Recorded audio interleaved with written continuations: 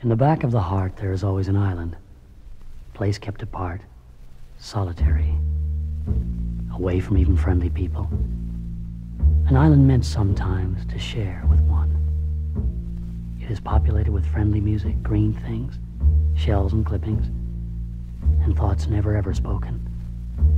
It's a real place with balloons that don't break, and kites that always fly, and birds that stay around.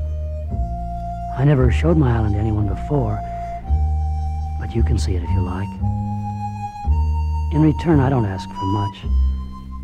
Now and then a touch, perhaps a friendly word, the sight of your naked eyes invading my private world.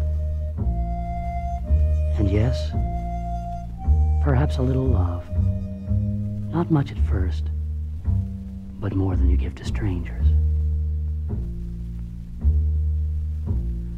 There is an island in the mind only love can find. It lies somewhere beyond the heart apart. And now that you've been close to me, I'll take you there so you can see the place where all my worlds unwind, little island of the mind.